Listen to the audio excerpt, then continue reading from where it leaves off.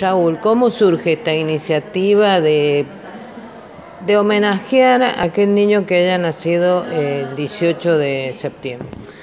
Bueno, la idea precisamente nace de la señora Ana Mena, que tengo a mi derecha, integrante fundadora del instituto, eh, que dice que era importante sentar un precedente en una fiesta tan singular y tan significativa para nosotros.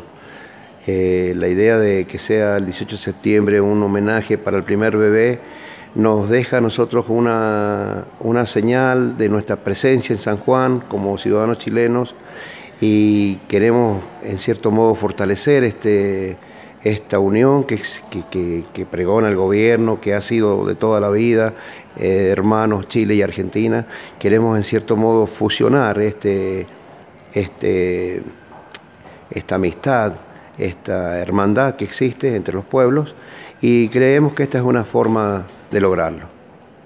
Bueno, en este caso ha sido un varoncito, eh, ¿recuerda usted su nombre, los padres? Este, ¿Cómo hicieron para poder identificar? Porque esto en el Hospital Rawson contiene un montón de niños que nacen.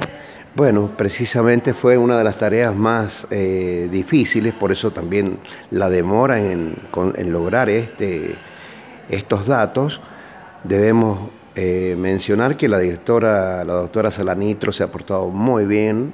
Ella no les aceptó la inquietud de mucho agrado y puso a disposición gente del hospital para que consiguiéramos los datos de estas personas. El señor se llama Claudio Selva y la señora se llama Jessica Navarro. Y el bebé es el tercer hijo varón de este matrimonio que nació a las 0.55 del 18 de septiembre de 2018. Se llama Oseías Leonel.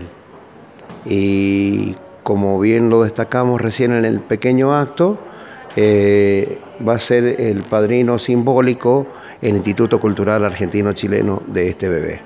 Esto ser el padrino simbólico, ¿qué significa? ¿Seguirlo a, través de la vida, ayudándolo? ¿Cómo, van a, cómo es? Eh, bueno, no, la idea es hacer un obsequio por este nacimiento y bueno, que, que, el niño guarde este regalo como la familia, como que el niño nació en un, en un día tan preciado para nosotros.